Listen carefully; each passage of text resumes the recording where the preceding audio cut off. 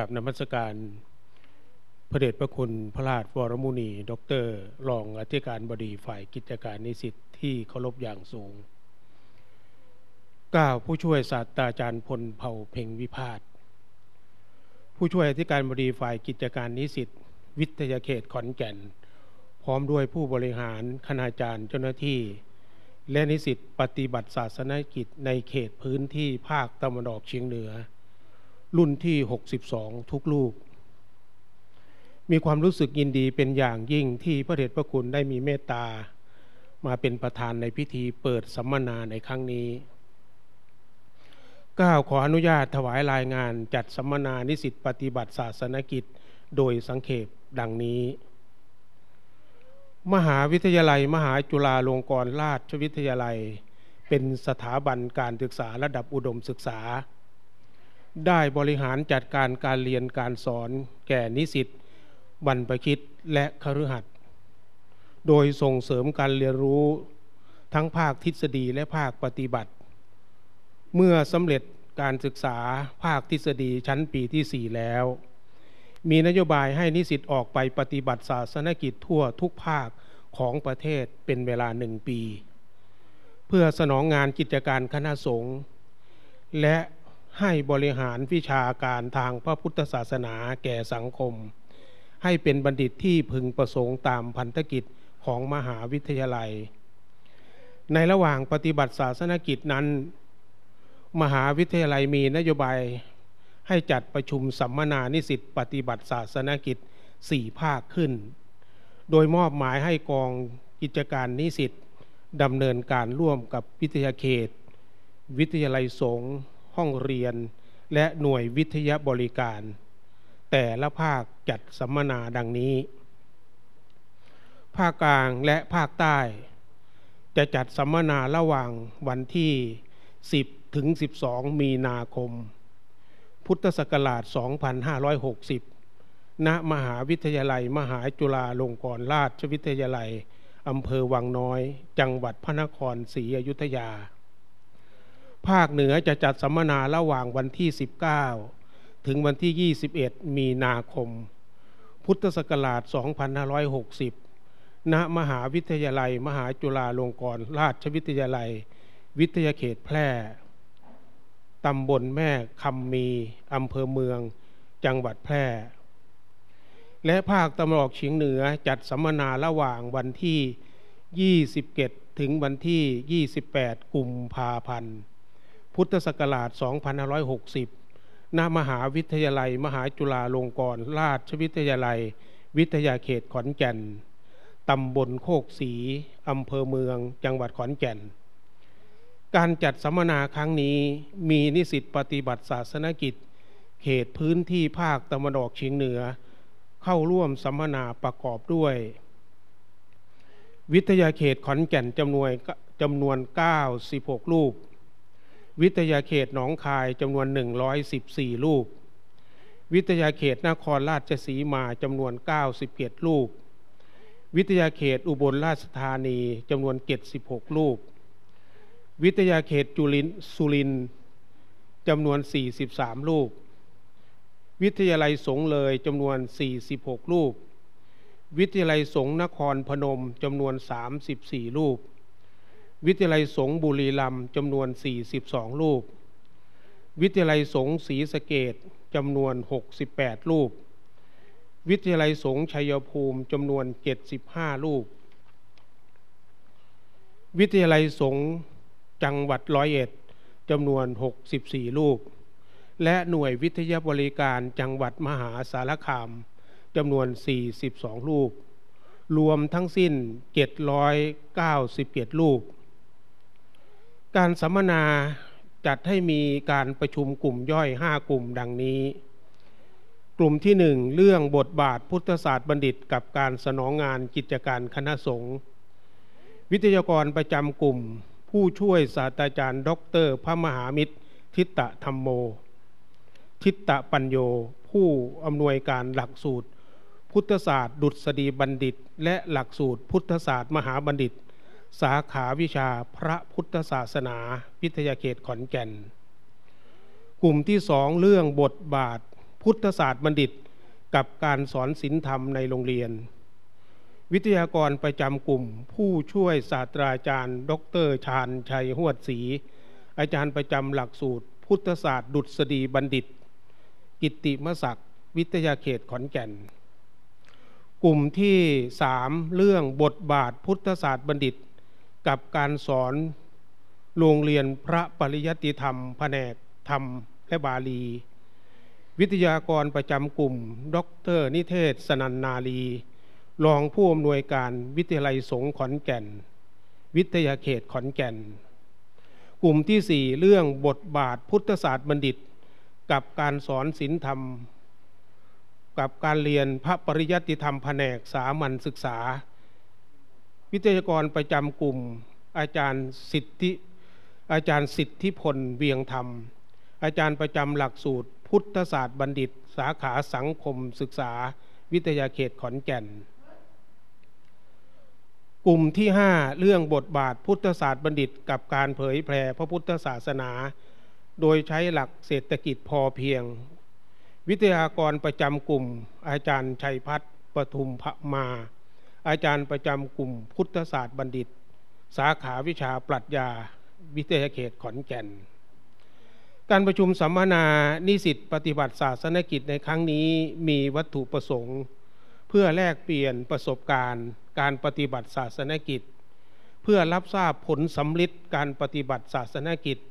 และรับทราบปัญหาอุปสรรคการปฏิบัติศาสนกิจแต่ละภาค บัดนี้ได้เวลา อันสมควรแล้วก้าวก็ผมขอกราบนิมนต์พระเดชพระคุณพระราช วรมุนี ดรรองอธิการบดีฝ่ายกิจการนิสิตเป็นประธานเปิดประชุมให้อวาดปาตกถาพิเศษเป็นลำดับต่อไปกราบนมัสการมาด้วยความเคารพอย่างสูง ขอ ถวายความเคารพ แต่ ท่านรองอธิการบดีพิทยาเกตขอนแก่นพระเดชพระคุณพระโสพล พัฒนาบัณฑิต ผู้บริหารคณาจารย์ฝ่ายบรรพชิต ตลอดถึง ว่าที่บัณฑิต ของมหาวิทยาลัย มหาจุฬาลงกรณราชวิทยาลัย ในภาคตะวันออกเชียงเหนือทุกรูป ขอเจริญพรท่านผู้บริหาร คณาจารย์เจ้าหน้าที่ ฝ่ายคฤหัสถ์ทุกท่าน วันนี้มหาวิทยาลัย มหาจุฬาลงกรณราชวิทยาลัย โดยกองกิจการนิสิตได้จัด ให้มีการสัมมนา นิสิตปฏิบัติศาสนกิจ ที่ได้ไปที่ได้ออกไปปฏิบัติ ศาสนกิจ ตามข้อบังคับของมหาวิทยาลัย เป็นจำนวนเเป็นเวลาหนึ่งปี บัดนี้ ท่านทั้งหลาย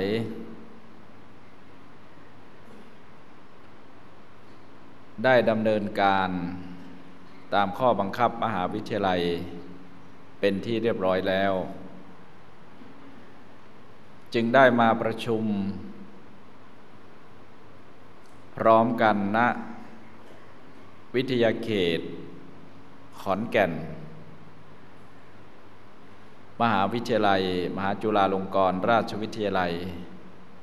แห่งนี้ เพื่อวัตถุประสงค์ ก็ดังที่ท่านผู้รับผิดชอบได้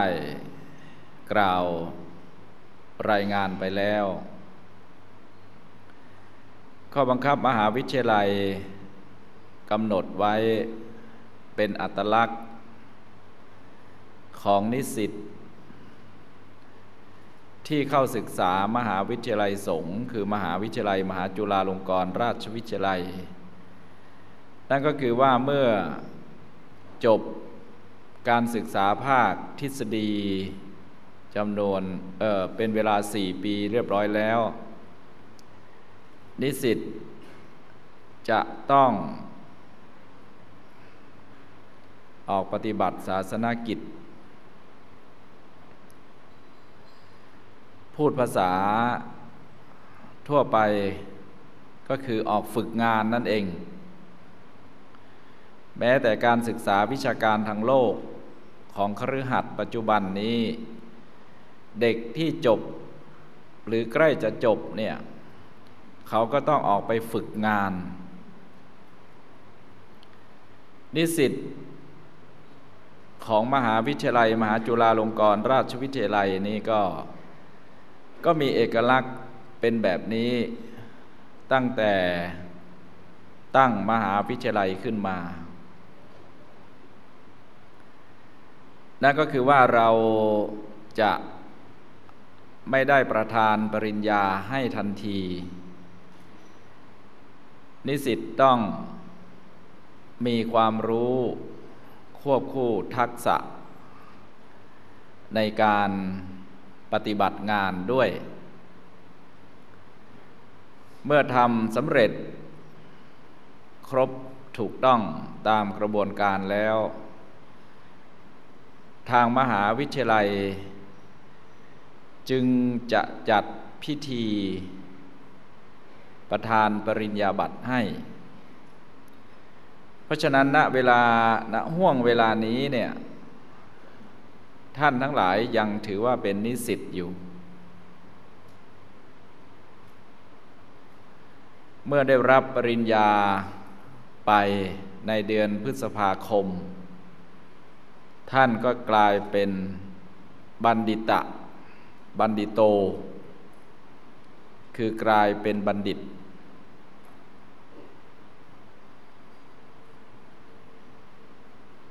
หมายถึงว่า เป็นผู้รู้ อันนี้คือตามกระบวนการ หรือตามรูปแบบ ที่นับว่า ที่นับถือว่าท่านเป็นบัณฑิต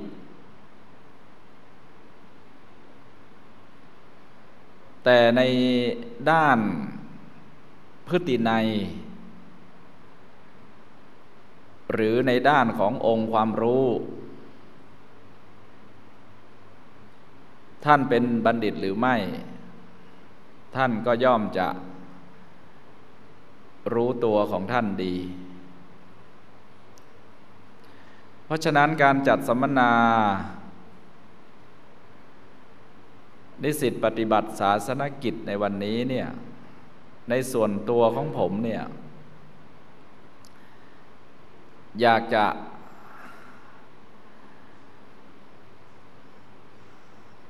มารับรู้รับทราบ หรือให้แนวทาง อาจจะสรุปเป็นสามประเด็นคือหนึ่งมาให้กำลังใจท่านนั่นแหละนะ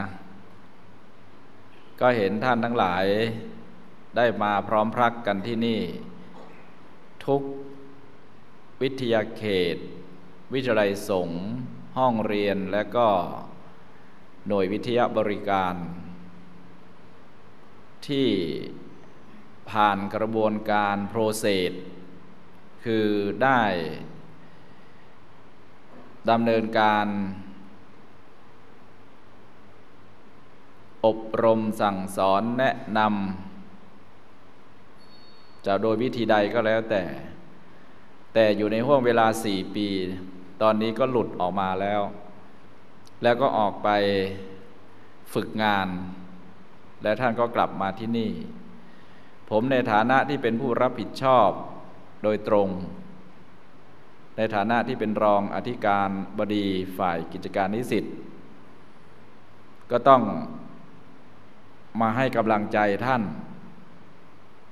ว่าท่านทั้งหลายได้ ไปทำงาน ตามที่มหาวิทยาลัย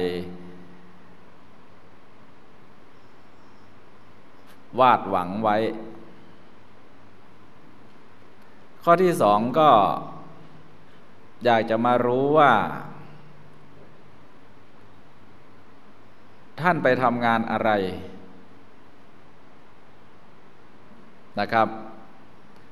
ท่านไปทำงานอะไรมาบ้าง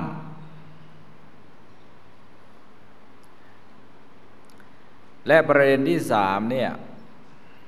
ผมก็อยากจะฝากงานให้ท่านไว้ด้วย แม้ว่าท่านจะจบการศึกษาเป็นบัณฑิต ระดับปริญญาตรีไปเรียบร้อยแล้ว แต่ผมยังเชื่อแน่ว่า หลายท่านและหลายเปอร์เซนต์ท่านก็มีแพลน ในการศึกษาต่อระดับปริญญาโทรปริญญาเอก อันนี้คือภาคทฤษฎี และในขณะเดียวกัน ผมก็ยังเชื่อแน่ว่า ท่านก็ยังอยู่ ครองเพศเป็นบรรพชิตอยู่ เพราะจำนวนหลักสูตรที่เราศึกษานั้น มีหลายหลักสูตร โดยเฉพาะหลักสูตรที่พัฒนาการมาจากประกาศนียบัตร การบริหารกิจการคณะสงฆ์ก็ดี ปัจจุบันมีประกาศนียบัตรว่าด้วยการแสดงพระว่าด้วย เทศนาก็ดี หรือแม้กระทั่งหลักสูตรของคณะต่างๆ ล้วนแต่เอื้ออำนวยให้ท่านได้เกิดข้อคิด เกิดอุดมการในชีวิตขึ้นมา ถึงแม้ว่าท่านจะไม่สามารถคลองเพศ บรรพชิตอยู่ได้ แต่ก็เชื่อแน่ว่าท่าน ก็ต้องทำงาน อยู่ในแวดวงในส่วนที่ตัวเองมีความรู้ และก็มีความถนัดนั่นเองแหละนะครับ ก็ก็อยู่ในในในโซนนี้ ในโทนนี้ในสโคปนี้เช่นเดียวกัน เราคงไม่ออกไปเป็นนักวิทยาศาสตร์ ไม่คงได้ออกไปเป็นนักวิศวกร คงไม่ได้ออกไปเป็นหมอเป็นแพทย์เป็นพยาบาลอะไรทั้งนั้นแหละ เพราะเรามีขุมความรู้มี ขุมทรัพย์ที่เราได้สั่งสมมาโดยลำดับ นั่นก็คือความรู้ของหลักของพระพุทธศาสนา หรือความรู้ในด้านการประยุกต์ พระพุทธศาสนาเชิงประยุกต์ เขาเรียกว่า apply Buddhism เหล่านี้เป็นต้น เพราะฉะนั้นเนี่ยก็จะมีอยู่สามประเด็นที่ผมต้องการมาในวันนี้ ทั้งๆทที่เมื่อคืนก็เพิ่งกลับมาจากทางภาคเหนือนะครับสี่ทุ่มก็รีบจำวัดแล้วก็ตีสี่ก็ตื่นก็มาที่นี่ เพราะช่วงก่อนนั้นก็ 21 เป็นต้นมาก็เป็นการสอบบาลี ในฐานะที่เป็นรองเจ้าคณะภาคก็ ต้องปฏิบัติหน้าที่นะครับ ผมดูแลคณะสงฆ์อยู่ทางขนเหนือ ผมก็ต้องออกปฏิบัติหน้าที่ในฐานะที่เป็นเจ้าพนักงาน คือเป็นพระสังฆาธิการระดับภาค ไม่ทำได้ไหมคำตอบก็อาจจะออกมาในแนวว่า เป็นเจ้าพนักงาน ละเว้นการปฏิบัติหน้าที่ เดี๋ยวก็โดนมาตราหนึ่งห้าเจ็ดอีก เพราะฉะนั้นเจ้าคณะพระสังฆาธิการตั้งแต่ผู้ช่วยจ้าอาวาสขึ้นไปนะครับ ที่นั่งอยู่ตรงนี้เนี่ยท่านเป็นเจ้าพนักงานตามพรบของคณะสงฆ์ไปเรียบร้อยแล้วนะครับ เพราะฉะนั้นเมื่อมีหน้าที่ที่จะต้องทำนี่ท่านต้องทำนะครับ ไม่ฉะนั้นแล้วก็อาจจะโดนผู้ปกครอง เจ้าคณะผู้ปกครอง ท่าน อาจจะมีคำสั่งบางอย่างในฐานะที่เป็นเจ้าพนักงานละเว้นการปฏิบัติหน้าที่ วงเล็บอยู่ตลอด ครั้งสองครั้งก็คงจะไม่เป็นไร บางทีเจ้าคณะตำบลก็คงจะเพ่งไอ้เจ้าอาวาสวัดนี้เนี่ยมีงงมีงานอะไรไม่เห็นไม่เห็นมันมาเลย ไม่มาก็ไม่เห็นมันใส่ซองมาร่วมช่วยงานอะไรสักอย่างเลย อาจจะโดนก็ได้นะครับ เจ้าคณะอำเภอ ก็อาจจะเพ่งเล็ง เจ้าคณะตำบล เขามีงงมีงานอะไรก็ไม่เห็นมาช่วยเลย ไม่ช่วยแล้วก็ไม่เห็นมาอุดหนุนอีกต่างหากดีระวังให้ดีนะครับ เพราะฉะนั้นท่านเป็นผู้ช่วยขึ้นไปเนี่ย ถือว่าเป็นเจ้าพนักงานละ ตามพรบส่ง ดังนั้นเนี่ย ผมก็ต้องมานะครับ ในสามประเด็นที่สรุปให้ฟัง ก็คืออยากมาให้กำลังใจท่าน และอยากจะทราบว่าท่านเนี่ย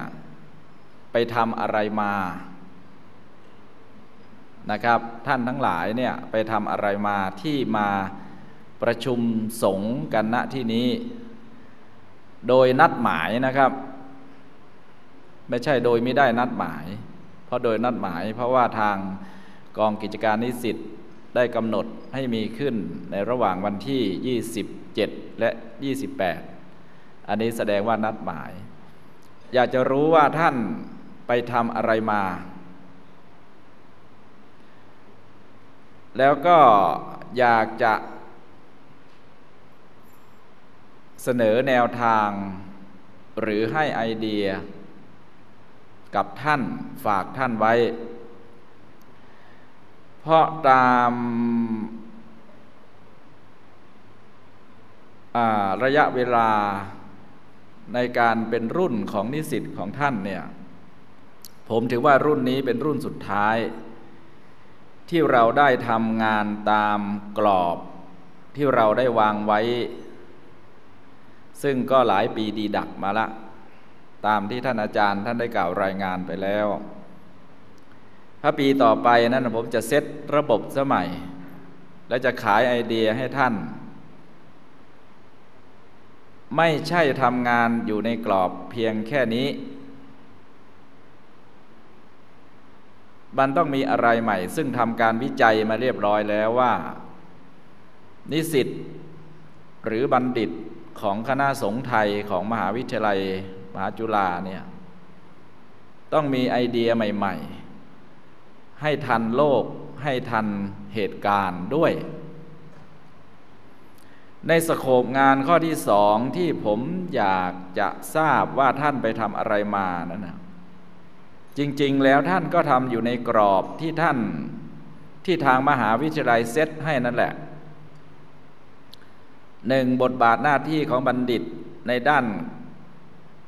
การสนองงานคณะสงฆ์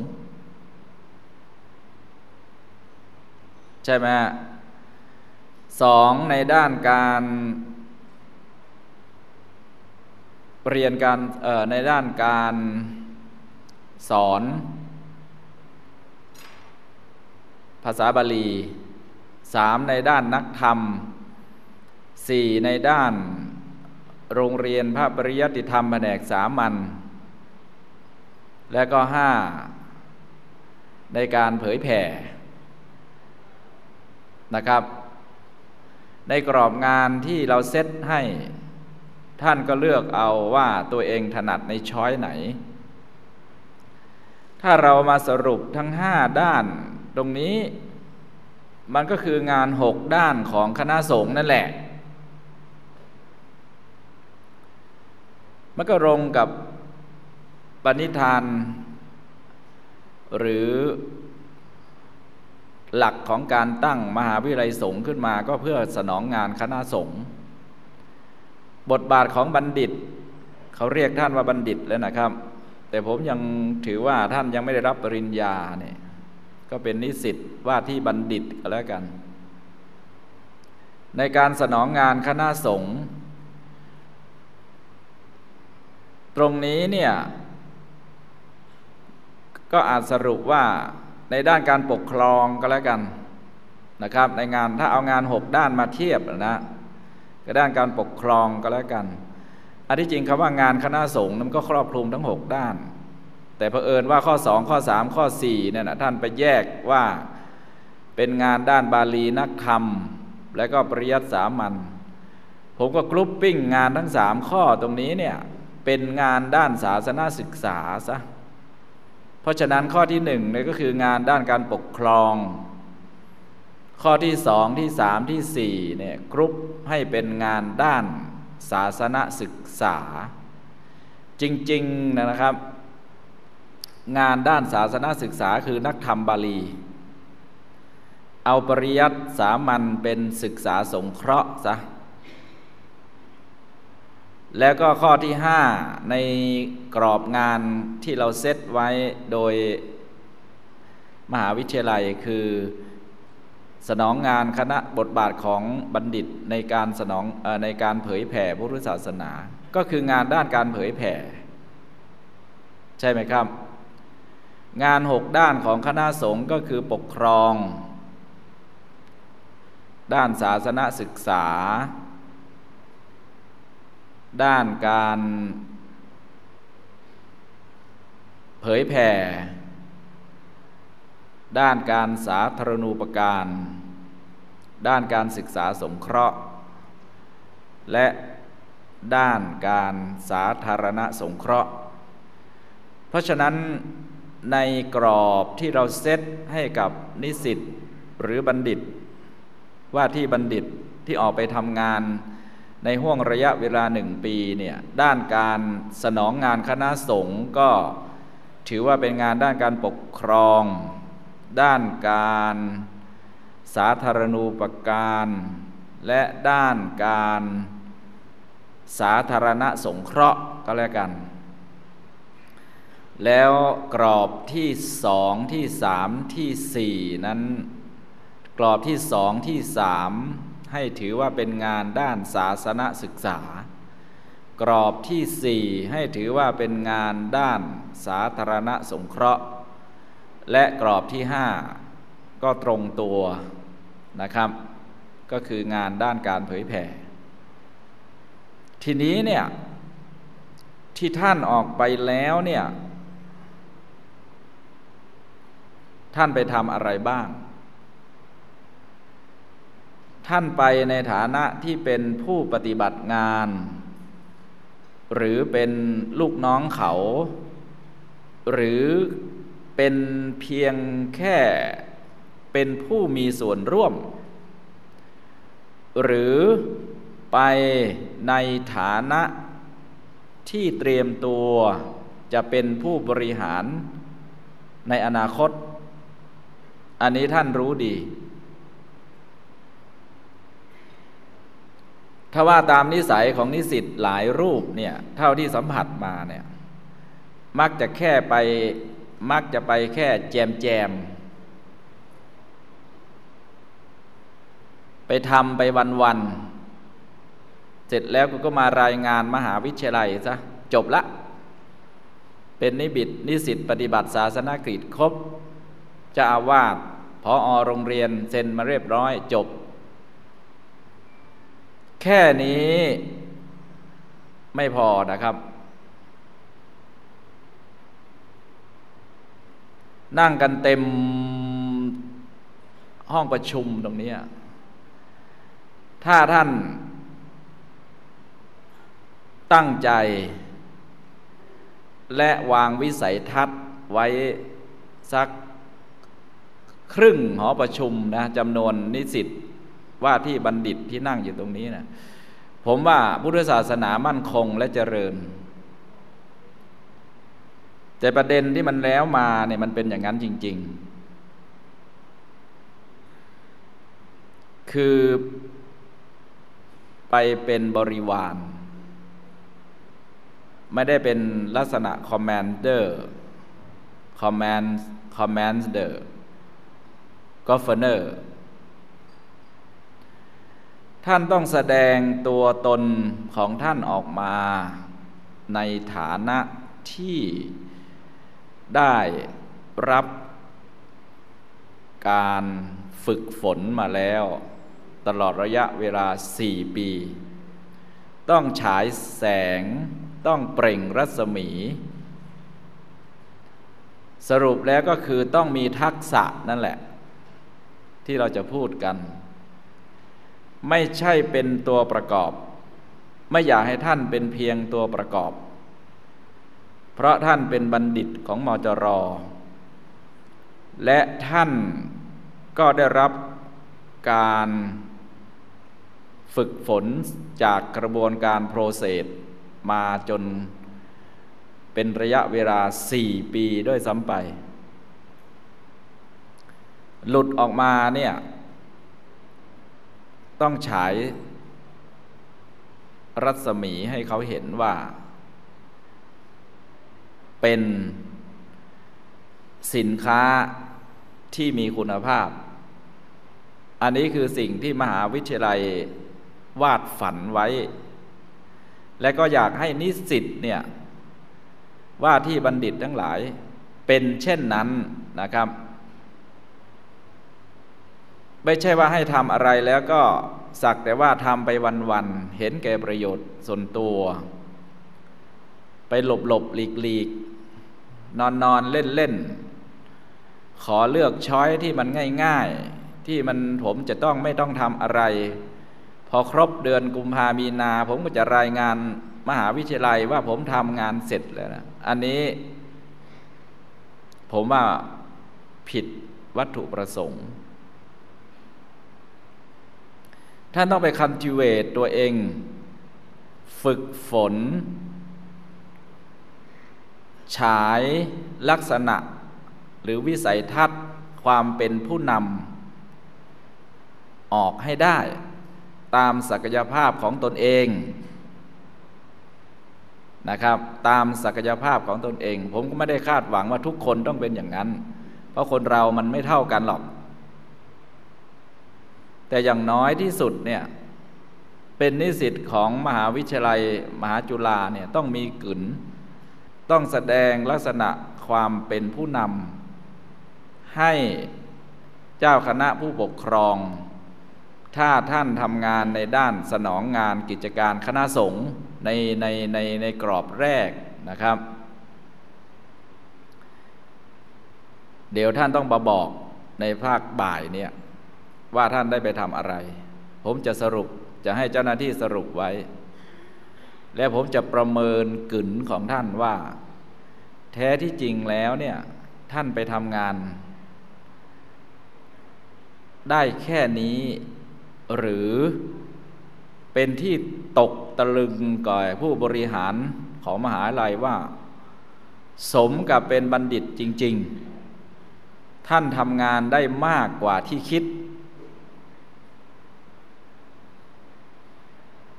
เดี๋ยวตอนบ่ายรู้ หรือพรุ่งนี้รู้นะครับ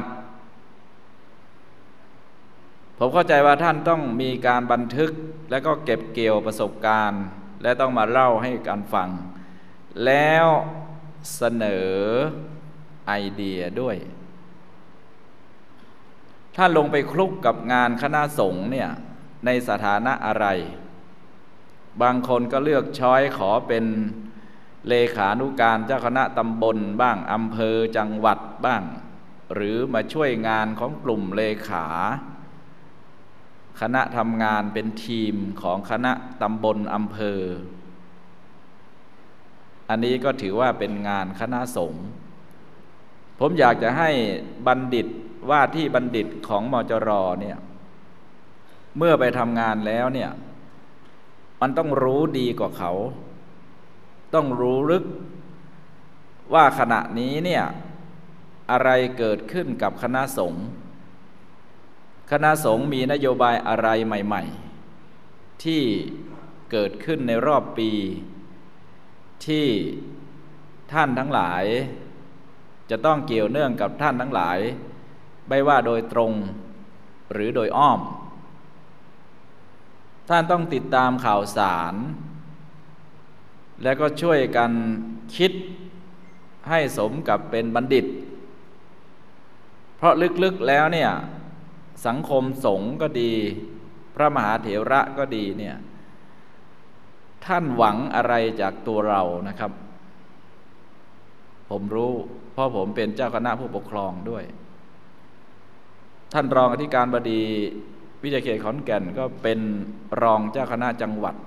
ท่านก็รู้ ท่านหวังจากขุมทรัพย์ตรงนี้แหละ ที่จะช่วยกัน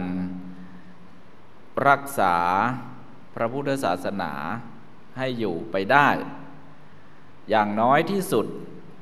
ก็ให้มันถึง ปีทำนายของพระพุทธเจ้าก็แล้วกัน อย่าเพิ่งให้ล่มหายตายจากไปอย่างรวดเร็ว เพราะวันนี้ตอนนี้มันก็เพิ่ง เดินทางมาแค่ครึ่งทางเอง จ้องเกิดตายอีกสองร้อยห้าสิบชาติ ให้มันไปถึงอย่างนั้นจริง ๆ เพราะฉะนั้นเมื่อท่านเลือก choice ที่เป็นงานคณะสงฆ์ในข้อแรก ท่านก็ต้องรู้ advance เกินไปกว่าพระธรรมดา อะไรเกิดขึ้นกับคณะสงฆ์คณะสงฆ์มีอะไร ณ ปัจจุบันนี้ที่เกี่ยวเนื่องกับอาณาจักร เขาก็ต้องวาดหวังวาด ความหวังจากท่านนั่นแหละ ที่จะได้ช่วย เป็นหลักให้กับคณะสงฆ์สมกับเป็นบัณฑิตนะครับ ถ้าท่านไปแซมไปแจมไปแค่ให้มันผ่านไปวันๆเสร็จแล้วก็มารายงานเนี่ย ผมว่าไม่บรรลุวัตถุประสงค์ ไม่บรรลุนโยบายของมหาวิทยาลัยหรอก ท่านต้องแสดงตัวตนของท่านออกมาให้สมภูมิรู้ภูมิธรรม ในงานคณะสงฆ์แม้ท่านจะเลือกช้อยที่สองนักธรรมบาลี หรือปริยัติธรรมบแดกสามัญอย่างน้อยที่สุดเนี่ยท่านก็ต้องรู้ความเคลื่อนไหว ของคณะสงฆ์ว่าตอนนี้กำลังทำอะไร ผมยกตัวอย่างให้ทราบก็คือว่า ขณะนี้คณะสงฆ์กำลังเสนอให้มีกฎหมาย รับรอง การศึกษา เรียกในภาพรวมว่าการศึกษาพระปริยติธรรมนะครับ ซึ่งรวมเอา 3 in 1 เข้าไปได้อยู่เดียวกันก็คือนักธรรมบาลี และพระปริยติธรรมบแดกสามัญอยู่ในฉบับเดียวกัน มีจำนวน 31 มาตรากำลังเสนอรัฐบาลให้ออก เพื่อ มีกฎหมายรับรอง ในการจัดกิจการ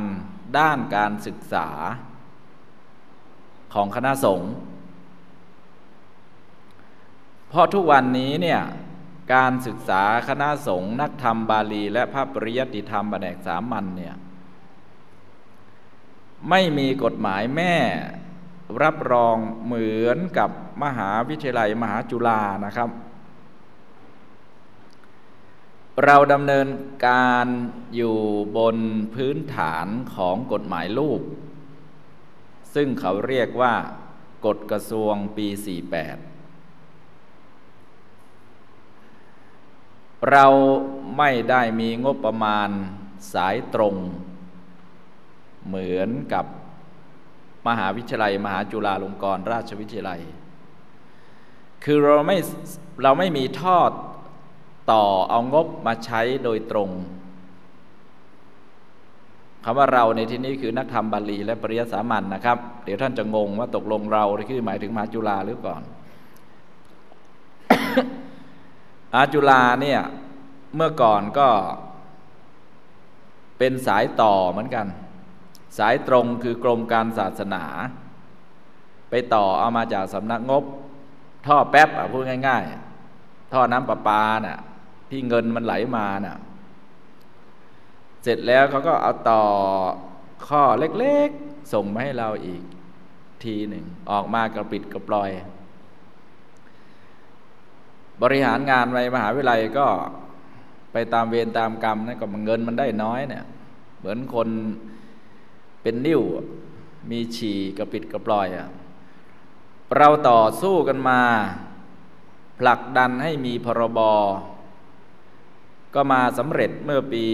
เมื่อปลายปี 40 เนี่ย ความหมายก็คือ จากท่อเล็กๆ เราขยับตัวเองเนี่ย มีสถานะสเตตัส เป็นหนึ่งกลม เมื่อเป็นหนึ่งกลมแล้ว ก็สามารถสร้างท่อประปาของเราเอง ไปต่อเอาเงินมาจากสำนักงบ มีสถานะเท่ากับกรมการศาสนา อธิการบดีก็คืออธิบดี รองอธิการบดีก็คือรองอธิบดี นี่ เมื่อเราสามารถต่อตรงน้ำมันก็ไหลมาเยอะดิ จากได้ปีละแสนสองแสนที่กรมการศาสนาให้มา เดี๋ยวนี้ก็มีเป็นพันพันล้าน อย่างนี้เป็นต้น เมื่อต่อมาแล้ว เราจะมีเส้นเลือดใหญ่เส้นเลือดฝอยอยู่ตรงไหนทั่วประเทศก็เป็นสิทธิ์ของเรา ที่เราจะให้มี ความหมายของเส้นเลือดใหญ่เส้นเลือดฝอยก็ วิทยาเขตวิไลสงห้องเรียนหน่วยวิทยาบริการอะไรเหล่านี้เป็นต้น ก็อยู่ในอันเดอร์ของบึงใหญ่นั่นแหละ คือบึงมจร ท่อน้ำประปาส่งตรงมาจากสำนักงงบเลย ไม่ต้องไปกินน้ำใต้ศอกใครละ ทีนี้วกกลับมา การศึกษาพระปริยติธรรมของคณะสงฆ์นั่นนะมันไม่มีตรงนี้ มันไปต่อท่อ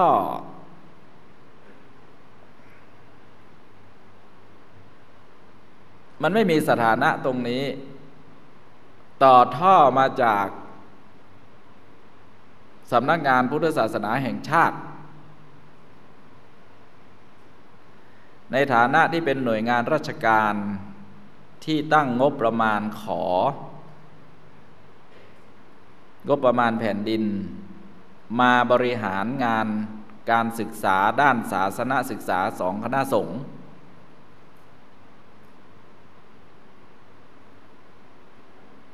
จริงๆเนี่ยสำนักพุทธก็จะพูดอยู่ตลอดเวลาว่า เป็นผู้สนองงานคณะสงฆ์แต่ในความเป็นจริงเนี่ยสำนักพุทธก็เป็นหนึ่งกลม เมื่อเงินไหลมานะ่ะไปไปแช่อยู่ตรงนั้น แล้วมันก็ไป เป็นการดำเนินงานที่จะต้องดำเนินการให้กับ สำนักงานพุทธพอมันไหลรินมาหางานคณะสงฆ์ก็มีนิดเดียว เราจึงมันจึงเป็นที่มาของการเมื่อน้ำมันไหลมาน้อยอะนะครับ เงินมันไหลมาน้อยเนี่ย ไหลสู่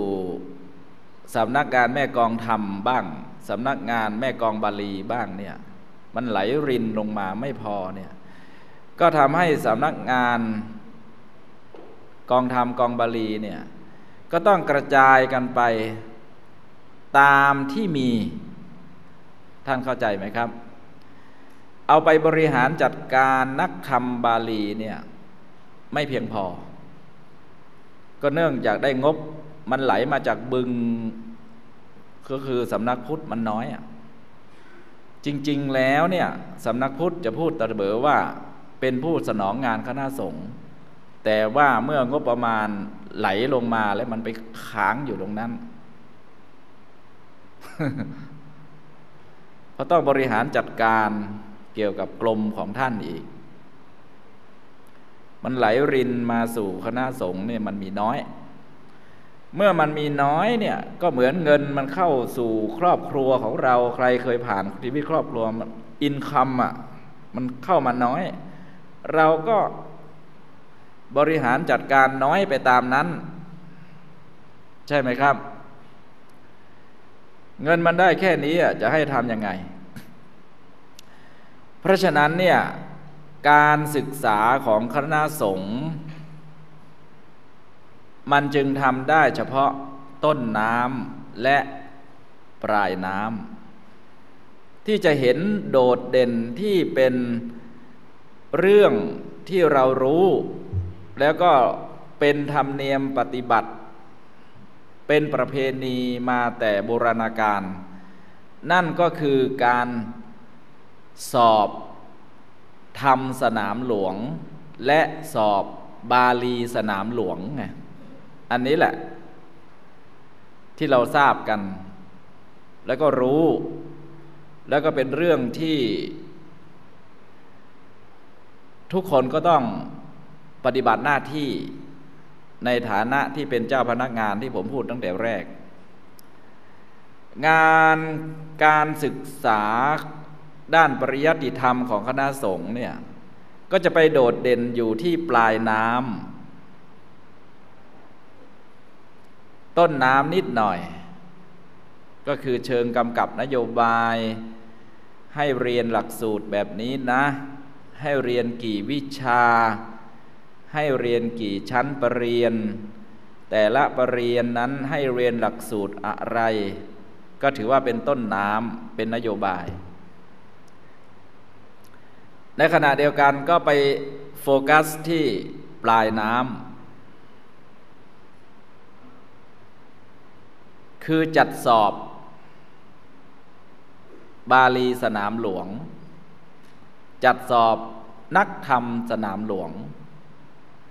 มันเป็นการวัดผลประเมินผล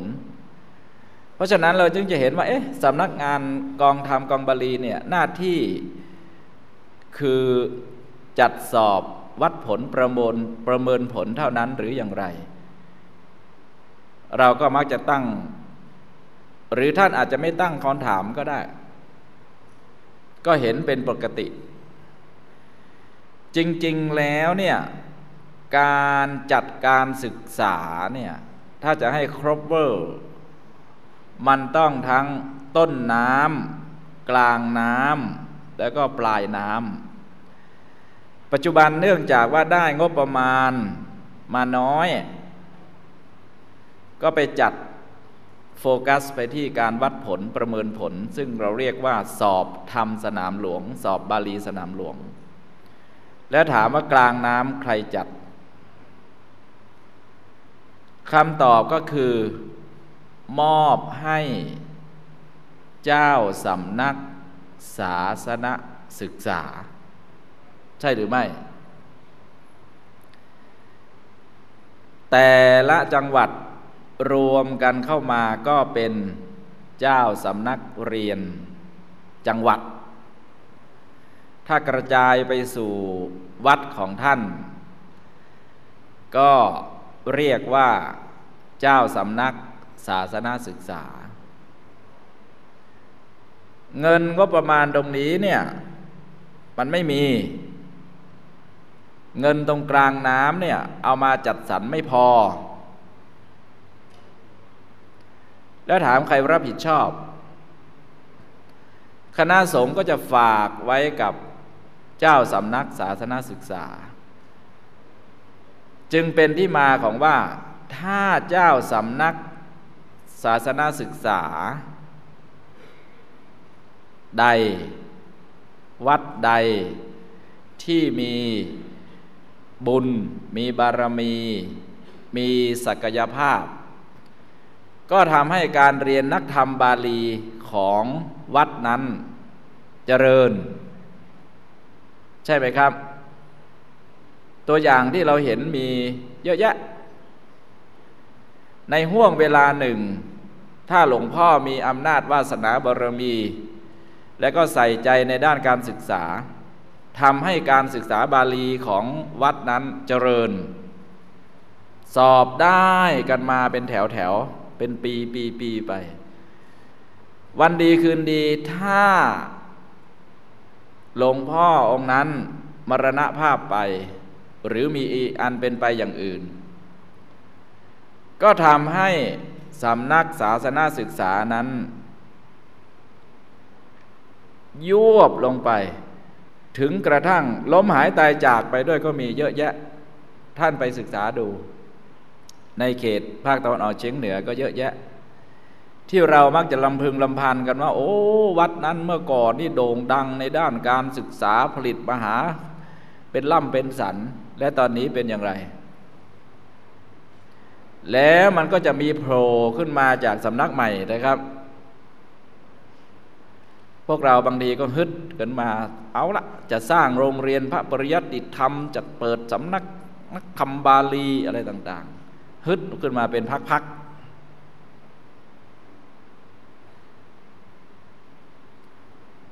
ทำไมการศึกษาคณะสงฆ์เป็นอย่างนี้ เหตุก็ที่ผมเล่ามาตามลำดับ มันได้งบประมาณแผ่นดินมา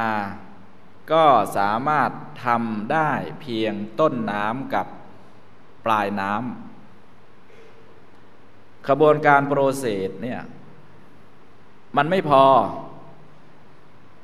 ถามว่า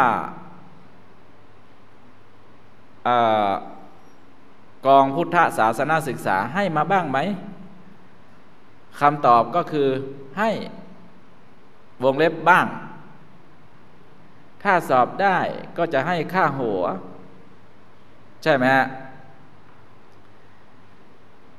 ถ้าเกิดในนักธรรมบาลีของท่านมีห้ารูป รูปละสามร้อยล่ะ มันได้เท่าไหร่อะ ก็ให้มาพันห้าร้อยบาท แล้วถ้าจะเอาเงินพันห้าร้อยบาทไปจัดการสร้างตึกไปหาครูมาสอนไปบริหารจัดการได้ครบปีในรอบปีได้อย่างไรอะใช่ไหมเหตุทั้งหลายทั้งปวงเหล่านี้เนี่ยที่ผมอยากเล่าให้ฟังเนี่ยก็เพราะว่าเราไม่มีกฎหมาย รองรับ ตรงนี้ เหมือนมหาวิทยาลัย มหาจุฬาลงกรณราชวิทยาลัย เข้าใจไปด้วย มหาจุฬาของเราเมื่อก่อนก็เช่นเดียวกัน ไม่มีกฎหมาย ก็อาศัยท่อเล็ก ๆ ที่เขาต่อมาจากกรมการศาสนาให้เงินมาที่ที่บอกว่าปีละแสนสองแสน มันมาบริหารจัดการไม่ได้หรอก พอมีกฎหมายรองรับ กฎหมายของคณะสงฆ์เนี่ยตอนนี้เนี่ยผมบอกให้ท่านนะครับ มีอยู่สามฉบับนะครับที่สมบูรณ์ที่สุดหนึ่งพระราชบัญญัติคณะสงฆ์2505 แก้ไข 35 แล้วก็แก้ไขมาตราล่าสุดปี 60 ปี59ใช่ไหมธันวาคม59อันนี้คือฉบับใหญ่ ในกฎหมายคณะสงฆ์ก็ไม่ได้พูดถึงงบประมาณไว้ด้วย ไม่มี ไปเขียนโดยเรื่องการปกครองเรื่องอะไรออกไปเรื่องการลงโทษ การนิคหกรรมเรื่องอะไรออกไปนู่น กฎหมายฉบับที่สองที่เกี่ยวเรื่องคณะสงฆ์ที่สมบูรณ์แบบ คือกฎหมายของมหาจุฬามจร มหาวิทยาลัย มหาจุฬาลงกรณราชวิทยาลัย และฉบับที่สามคือ พรบ มหาวิทยาลัย มหามกุฏเท่าที่ทราบนะมีอยู่สามฉบับแค่นั้นแหละ ที่สมบูรณ์ แม้เราจะมีอีกฉบับหนึ่ง เขาเรียกว่า กฎหมายรับรองวิทยาฐานะปี 27 แก้ไข 40 ที่เอาตอนนั้นเนี่ยรับรองวิทยาฐานะเท่านั้นนะรับรองพอทอบอสอนอบอแล้วก็ประโยค 9 เป็นปริญญาตรี ก็รับรองเฉพาะปริญญา แต่ไม่ได้รับรองเรื่องการบริหารจัดการคือเรื่องเงินจำเดิมมาการมาถึงปี 40 เนี่ย ครอบคลุมหมดเลย ให้ทั้งเงินให้ทั้งอะไรมา เราจึงสามารถสร้างตึกได้ทำอะไรได้ของงบประมาณได้ จึงสามารถมีเงินบริหารทั้งต้นน้ำกลางน้ำปลายน้ำแม้แต่ตึกห้องประชุมมันโอโถงตรงนี้ ส่วนหนึ่งก็เป็นงบประมาณแผ่นดิน เห็นไหมครับ อันนี้คือประโยชน์ของการมีกฎหมายท่านบกกลับไปงานที่ท่านเลือกเป็นช้อยที่ผมอยากจะให้ท่านไปร่วงรู้ และก็แสดงฉายเปล่งรัศมี แสดงภาวะวิสัยทัศน์ ความเป็นผู้นำขึ้นมาเนี่ยในเมื่อไปปฏิบัติศาสนกิจ ผมอยากให้ท่านร่วงรู้ถึงตรงนั้นด้วย แล้วก็แสดงตนเป็นผู้กำหนดด้วย ไม่ใช่เป็นตัวประกอบ แล้วก็ไปแซมแซมเขาอยู่แล้วก็เสร็จแล้วก็มารายงานมาวิทยาเขตว่า ผมทำเรียบร้อยนะนะครับ กิจกองไอปฏิบัติศาสนกิจ ผมไม่อยากให้ท่านสตรักหยุดไปแค่นั้น ต้องแสดงบทบาท ฉายแสงความเป็นผู้นำด้วย ว่าเราจะดำเนินการอย่างไร เกี่ยวกับงานอย่างนี้ ที่มันเกิดขึ้นกับพุทธศาสนา โดยเฉพาะด้านการศึกษา ต้องช่วยกันผลักดัน พรบฉบับนี้เนี่ยเข้าไปหนึ่งครั้งละ เล่าเบื้องหลังให้ฟังนิด เจ้ากระทรวงท่านไม่ ท่านไม่ทราบ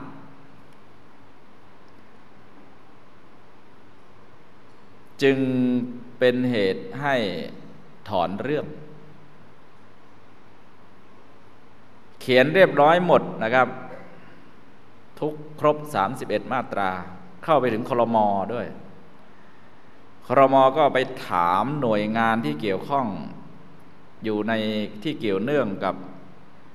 ไอ รบนั่นนะกระทรวงการคลังบ้าง สกอบ้างสอนอชอด้วยซ้ำไป ที่เกี่ยวข้องเนี่ยเจ็ดหน่วยงาน เขาตอบมาชื่นใจมาก โดยเฉพาะกระทรวงการคลังบอกว่า เห็นด้วยเป็นอย่างยิ่ง ที่จะต้องมีกฎหมายนักธรรมบาลีขึ้นมา เพื่อที่ จะได้นำงบประมาณแผ่นดินมาจัดการด้านการศึกษาของคณะสงฆ์เพื่อความยั่งยืนและสถาพรของพุทธศาสนาด้วยนะครับ เขียนตอบมาถึงขนาดนั้น แต่ไปพลาดนิดหนึ่งเลขาครมถามไปที่กระทรวงศึกษาธิการ ไปถามไปหน่วยงาน เขาเรียกว่าสกอ ที่มีหน้าที่เขาเขียนไว้ในกฎหมายบอกว่าประโยคหกบวกกับทางโลกนะพูดง่ายพูดง่าย ๆนะครับ ประโยคหกบวกกับทางโลกเป็นปริญญาตรี เป็นปริญญาตรี ประโยคแปดบวกกับทางโลก เป็นปริญญาโท ประโยคเก้าบวกกับทางโลก เป็นปริญญาเอกอะไรเนี่ย ผมพูดง่าย ๆนะครับ อย่างเงี้ย ทางเลขาครมถามไปที่สกอ สกอ ตอบตรงไปที่ครม ไม่ได้ผ่านเจ้ากระทรวง ที่นั่งประชุมอยู่ในครมนั้นคือเจ้ากระทรวง ไม่ใช่เลขาธิการสกอ ปรากฏว่าในวันนั้นเจ้ากระทรวงเลย ขอถอนออกไปก่อน ผมต้องศึกษาอีกนิด เนี่ยนะฮะ อันเนี้ยเนี่ย แค่นิดเดียวเนี่ยมันพลิกสถานการณ์ได้เลย ก็เลยดีเลย์มาถึงวันนี้ ตอนนี้นี่กำลังจะเอาเข้าอีกรอบหนึ่ง ก็ขอให้ท่านสวดมนต์ช่วยกันผลักดัน ผมว่ามันตรงกับนโยบายของรัฐบาลที่จะส่งเสริมด้านการศึกษา และก็ด้านการเผยแผ่พุทธศาสนา เราเอาเป็นขยักขยัก เอาในตรงที่มันไม่รำคาญจิตรำคาญใจเขาอะพูดง่าย ๆ เพราะอำนาจรัฐอยู่ตรงนั้นไอ้ที่เราไปเรียกร้องเนี่ยจะต้องปกป้องคุ้มครองอุปถัมภ์อะไรต่าง ๆ เนี่ยผมอ่านดูแล้วมันมันฟังดูแล้วมันมันยาก ผมไม่รู้นะครับ ท่านอาจจะทำ เพราะหลายท่านก็เป็น hardcore อยู่ตรงนี้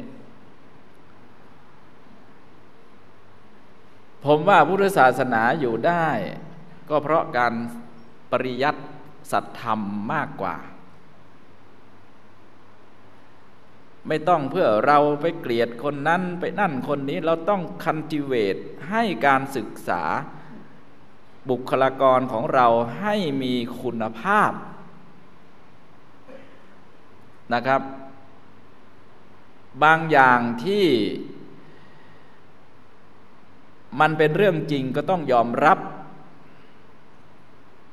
อย่าไปบอกว่าคณะสงฆ์แตะต้องไม่ได้อย่างนั้นอย่างนี้ไม่ใช่อะผมว่า ในทัศนะของผมเนี่ยว่าไม่ใช่อะมันต้อง เหมือนกับว่า คุยกันแฟรงๆอะอันไหนที่เราจะต้องปรับปรุงตัวเอง เราก็ต้องยอม ในบางประเด็นนะครับ แต่ในหลักใหญ่เนี่ยเราก็ต้องรักษามรดกของเราไว้ ไม่ใช่จะทำอะไร อย่ามาแตะอย่ามาทำเนี่ยในในแนวคิดของผมเนี่ยผมผมคิดว่า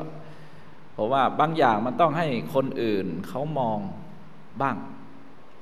มันเสมือนกับเป็นการชี้ขุมทรัพย์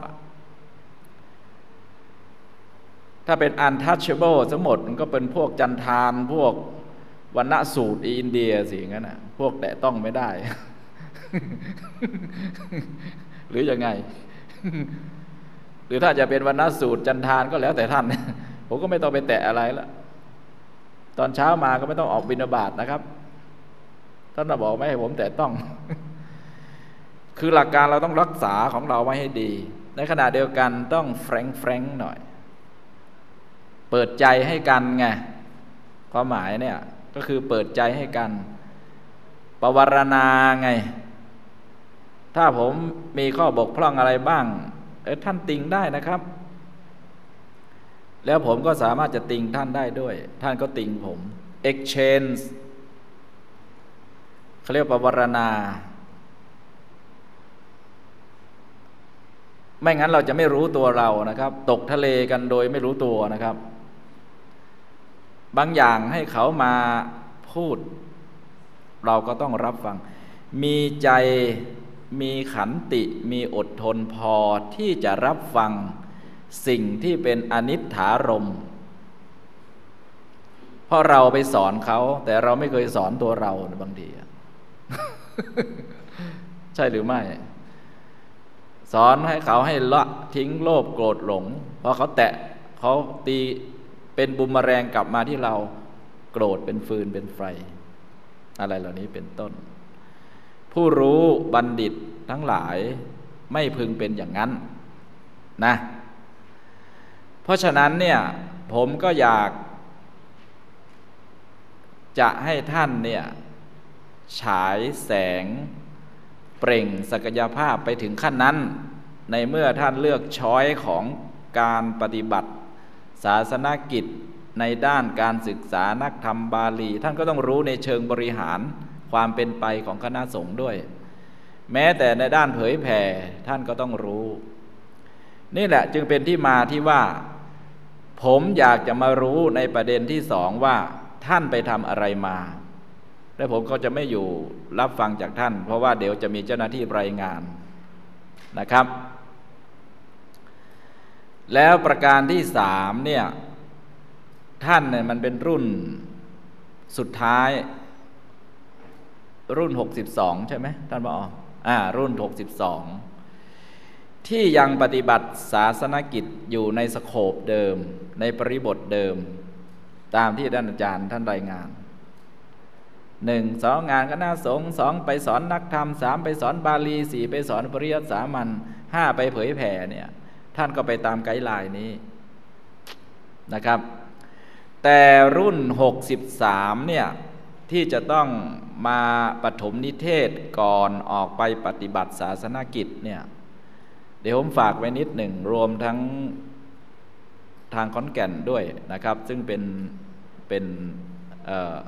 สถานที่หลัก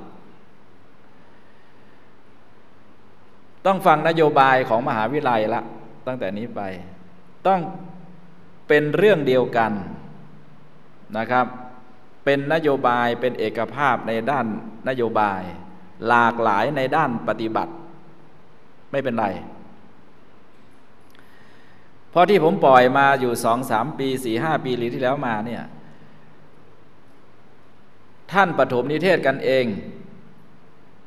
แม้แต่หน่วยวิทยาบริการไปเรียกมาปีนี้เรามีนิสิตที่จะออกปฏิบัติศาสนกิจอยู่กี่รูป มานั่งหลอมแหลมล้อมแหลมอยู่ในห้องห้าหกรูป ผมเห็นตามที่รายงาน แล้วก็พออหรือหัวหน้าฝ่ายก็มาบอกว่าไปอย่างนั้นอย่างนี้ ปีนี้เนี่ย ถ้าเริ่มทันนะครับ ต้องประชุมสัมมนา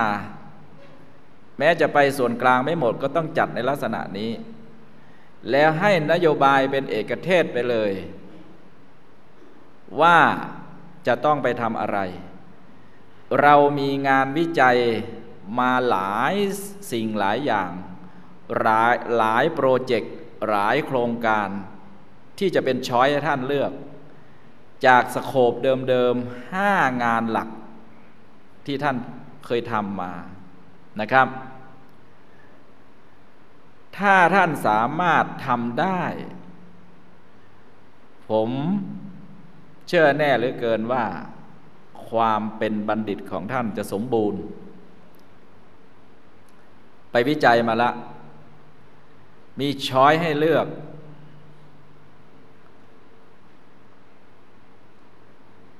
ท่านอาจจะกลายเป็นถ้าท่านได้แรงบันดาลใจนะครับ ท่านอาจจะกลายเป็นนักเผยแผ่ระดับชาติระดับโลกก็ได้ เป็นบุคคลเวลโนนในสังคมสงฆ์ในสังคมไทย ท่านสามารถทำได้หลายสิ่งหลายอย่าง ผมยังไม่อยากบอกในตรงนี้นะครับ เพราะว่าตอนบ่ายหรือพรุ่งนี้ท่านก็จะมีแนวคิดในแนวไอเดียให้ท่าน ถ้าอาจจะคิดอ้าว ผมจบแล้วผมจะไปทำอะไรอะ ก็ผมบอกตั้งแต่ต้นแล้วไง ท่านก็ยังอยู่ในพุทธศาสนา ท่านก็ catch ไอเดียนี้ไปสิครับ ไป capture ไอเดียนี้ไป ก็ไปทำงานในขณะเดียวกัน ท่านก็เรียนต่อปริญญาโทปริญญาเอกไปดิบางคนก็วาดฝันอยากจะเป็นนักเผยแผ่ บางคนก็วาดฝันอยากจะเป็นพระนักพัฒนา เรามีช้อยมีไกด์ไลน์ให้ท่านเลือก ตอนบ่ายไปคิดเอาเอง ไปเลือกเอาเองนะครับ อยากจะปลูกศรัทธา อยากจะให้กำลังใจท่านไว้อย่างนี้ ผมว่าถ้าเราทำได้ประมาณครึ่งห้องเนี่ยพุทธศาสนาเจริญรุ่งเรืองแน่นอนนะครับ เพราะฉะนั้นมหาวิทยาลัยโดยกองกิจการนิสิตของ หน่วยงานของมหาวิทยาลัยซึ่งมีอยู่ทั่วประเทศนี่นะครับ ซึ่งรับผิดชอบในตรงนี้เนี่ยก็จะต้องมาระดมไอเดียกัน แล้วก็ประกาศเป็นนโยบาย ให้ท่านนิสิตทั้งหลายเนี่ยที่จะออกปฏิบัติศาสนากิจในรุ่นปี6เออได้รุ่น 63 เป็นต้นไป ต้องคิดใหม่ทำใหม่ จากที่มีอยู่เดิมก็ต้องประยุกต์นะครับ ถ้าท่านทำได้อย่างนี้ ถือว่าบรรลุวัตถุประสงค์ และนโยบายของมหาวิทยาลัยแน่นอนเอาละครับ ผมได้พบปะ ท่านว่าที่บัณฑิตทั้งหลาย มาก็พอสมควรแก่เวลา ได้ให้ข้อคิด และได้มาเล่าหลายสิ่งหลายอย่าง ให้ท่านได้เกิด จุดประกายความคิดนะครับ ในฐานะที่เป็นนิสิตและเป็นว่าที่บัณฑิตของมหาวิทยาลัยสงฆ์ซึ่งเป็นที่พึ่งของสังคม ท่านทั้งหลายก็จะได้ออกปฏิบัติงาน สนองงานคณะสงฆ์ทั้งหกด้านก็ดี